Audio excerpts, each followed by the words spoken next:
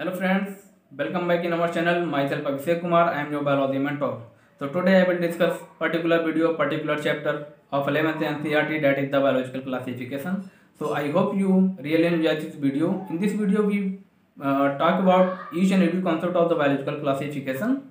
So you enjoy this session and stay tuned with me. If you want to join my social media handle, so I provided link in description box. So you join me on Telegram channel and other social media handles. So let's start without wasting any time. Stay with me.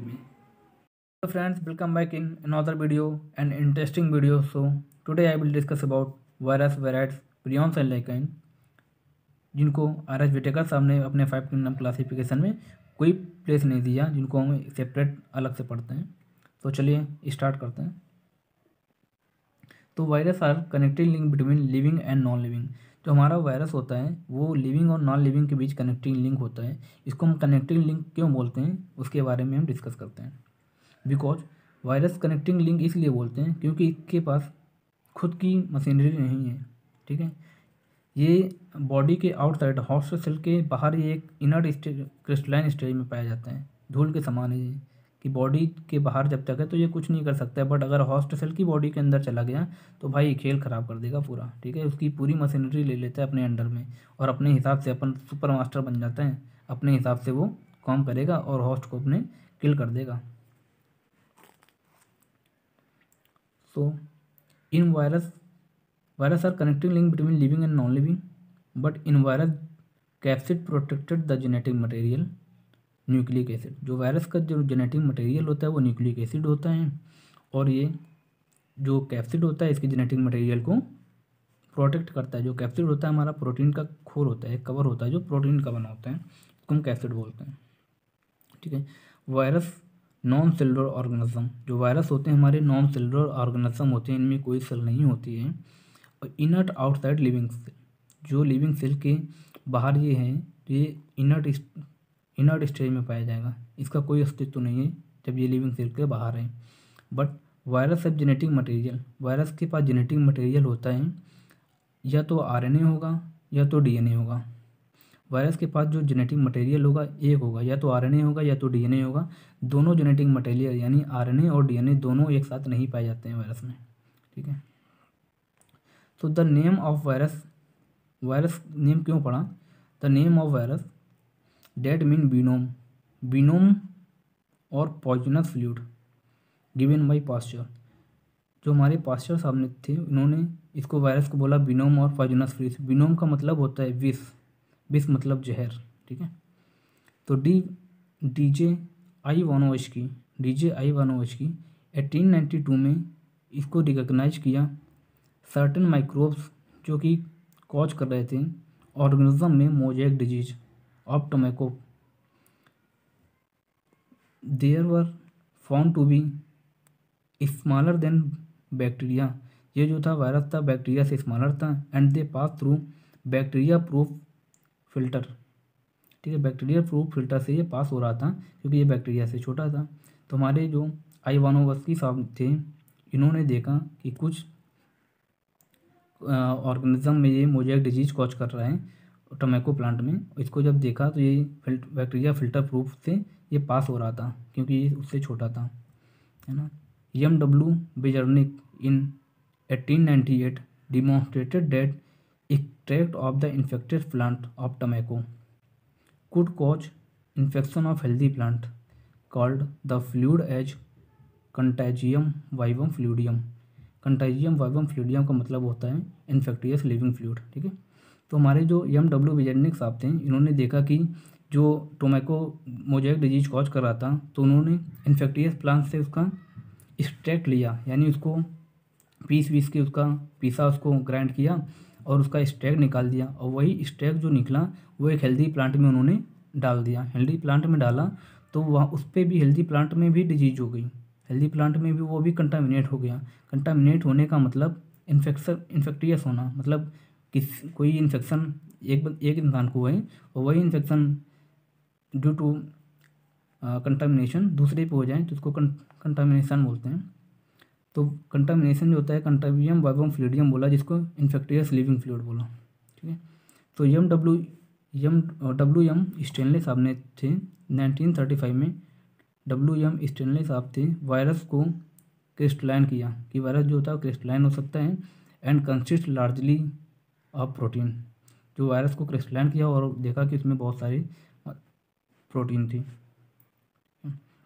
जो virus disease cause करते हैं जो हमारे disease cause virus होते हैं क्या करते हैं इसमें जो प्लांट्स में होते हैं वो डिजीज कॉज होगी तो या तो वो सिंगल स्टैंडर्ड आरएनए से हो जाएगी या सिंगल स्टैंडर्ड आरएनए से हो जाएगी बट जो एनिमल में होता है या तो सिंगल स्टैंडर्ड आरएनए से होगी या डुबल स्टैंडर्ड आरएनए से होगी या फिर डुबल स्टैंडर्ड डीएनए से होगी बट इन बैक्टीरियो फेज जो बैक्टीरियो फेज क्या होता है हमारा उसमें जो डिजीज होता है डबल स्टैंडर्ड डी से होता है ठीक है बैक्टीरियो जो होता है हमारा वायरस को इन्फेक्ट कर दे ठीक है वायरस इन्फेक्टेड बैक्टीरिया फेज बोलते हैं उसको तो नेक्स्ट हम देखते हैं वायराइड्स वायराइड्स क्या होता है हमारा जो हमारे टीओ टियोडाइनर साहब थे डाइनर थे नाइनटीन में में डाइनर साहब ने न्यू इन्फेक्टियस एजेंट जो नए disease causing agent infectious agent को देखा डेट स्मॉलर देन वायरस जो कि वायरस से छोटा था स्मॉलर था और ये क्या करता था ये पोटैटो स्पिंडल ट्यूबर डिजीज ये पीएसटीडी कॉज करता था पीएसटीडी यानी आलू में PSTD potato spindle tuber disease cause करता था the lack of protein coat इसमें प्रोटीन कोड नहीं होता था कैसिड यानी प्रोटीन कोड जो जेनेटिक मटेरियल को कवर करता था वायरस में कैप्सिड का खोल इसमें नहीं पाया जाता था so R N A found to be free जो आर एन ए था वो फ्री स्टेट में पाया जाता था यानी नेक्ट स्टेट में पाया जाता था जिसमें कवर नहीं था तो the R N A of viroids was low molecular weight जो वायराइड्स का आर एन ए था वो लो मॉलिकुलर वेट था देन वायरस तो आफ्टर डैट वी देखते हैं लाइकेन वाट इज लाइकेन तो हमने देखा था जब एल्गा और फंजाई हमारा एसोसिएट होते थे सिम्बायोटिन स्टेज में आते थे तो वो लाइकेन फॉर्मेशन करते थे बट जो फंजाई और रूट ऑफ हायर प्लांट था अगर वो आता था तो उसको माइक्रोजिया बोलते थे तो हम देख लेते हैं लाइकेन तो लाइकेन आर सिम्बायोटिन लाइकेन होता है symbiotic association mutually usually mutually usually association between alga and fungi जो हमारा लाइकेन होता है वो एल्गा और फंजाई के मैचुली यानी साथ साथ एसोसिएशन से बनता है ठीक है द एल्गल कंपोनेंट जो हमारा एल्गल कंपोनेंट होता है वो हमारा फाइकोबायोंट बोलते हैं फाइकोबायोंट फाइकोबायोंट मतलब एल्गा जो हमारा होता था फोटोआटोट्रॉफ होता था फोटोआटोट्रॉफ का मतलब वो अपना भोजन खुद बनाता था यानी सनलाइट की प्रजेंट में उसमें क्लोरोफिल पाया जाता था इस वजह से वो अपना भोजन खुद बनाता था इसलिए इसको फाइकोबियांट बोलते हैं और जो फंगल होता है कंपोनेंट कॉल माइकोबियांट जो अपना भोजन खुद नहीं बनाते हैं उसको माइक्रोबियांट बोलते हैं यानी फंजाई जो होता है हमारा यहाँ पे इसको माइक्रोबियांट बोलते हैं जो हमारा खुद भोजन नहीं बनाता है उसको तो मेट्रोट्रॉफ बोलते हैं ठीक है एल्गल आर आटोट्रॉफ जो एल्गा है वो आटोट्रॉफ है so prepare food for fungi जो हमारा एल्गा है वो वो फूड प्रिपेयर करता है फूड बनाता है फंजाई के लिए और फंजाई भी क्या करता है भाई दोनों साथ साथ रह रहे हैं हाउस एंड वाइफ के तरीके हाउस एंड हस्बैंड के तरीके ठीक है हाउस में वाइफ रहती है घर में रहती है वो खाना बनाती है अपने हस्बैंड के लिए और हस्बैंड का काम क्या होता है बाहर से अपनी जो वाइफ की ज़रूरत होती है उसको पूरा करता है यानी यहाँ पे एक तरह से देखा जाए तो एल्का है वो वाइफ है और जो फंगल है वो हस्बैंड है ठीक है सो तो alga are autotroph so prepare food जो एल्का होता है वो ऑटोट्रॉप होता है और अपना फूड बनाता है फॉर फंजाई के लिए एंड फंजाई प्रोवाइड फिल्टर जो फंजाई होती है वो क्या करती है एल्गा को रहने के लिए जगह देती है एंड फंजाई जो होती है एब्जॉर्ब मिनरल जो फंजाई होता है वो मिनरल एब्जॉर्ब करता है न्यूट्रिएंट एब्जॉर्ब करता है एंड वाटर फॉर एल्गा जो फंजाई होती है वो एल्गो एल्गा को रहने के लिए जगह देती है और उसके लिए मिनरल न्यूट्रिशन एब्जॉर्ब करती है एंड वाटर एब्जॉर्ब करती है एल्गा के लिए ठीक है so lichen are very good pollution indicator जो लाइकेन होते हैं हमारे वो पॉल्यूशन इंडिकेटर होते हैं बहुत अच्छे पॉल्यूशन इंडिकेटर होते हैं they do not grow in polluted area जो हमारे लाइकेन होते हैं वो पॉल्यूटेड एरिया पे ग्रो नहीं करते हैं जहाँ पे पॉल्यूशन होगा पॉल्यूटेड एरिया होगी वहाँ पे ग्रो नहीं कर देंगे स्पेशली ये सोटू पॉल्यूशन जो सल्फर डाइऑक्साइड होता है उसके पॉल्यूशन का गुड पॉल्यूटेड इंडिकेटर होते हैं हमारे लाइकिन तो हमारे ग्रो नहीं करते हैं पॉल्यूटेड एरिया पर तो नेक्स्ट देखते हैं हम प्रियॉन्स जो प्रियॉन्स होते हैं हमारे इनको हम स्लो वायरस बोलते हैं ठीक है प्रियॉन्स हमारे स्लो वायरस हो गए prions are abnormal folded proteins जो प्रियॉन्स होते हैं हमारे एबनॉर्मल फोल्डेड प्रोटीन होते हैं कॉज न्यूरोलॉजिकल डिजीज ये हमारे न्यूरोलॉजिकल डिजीज को कॉज करते हैं एबनॉर्मल फोल्डेड प्रोटीन्स होते हैं ये न्यूरोलॉजिकल डिजीज कॉज करते हैं ये सिमिलर टू वायरस जो हमारे वायरस से वायरस के सिमिलर होते हैं ये हमारा जीरो पॉइंट जीरो टू से जीरो पॉइंट टू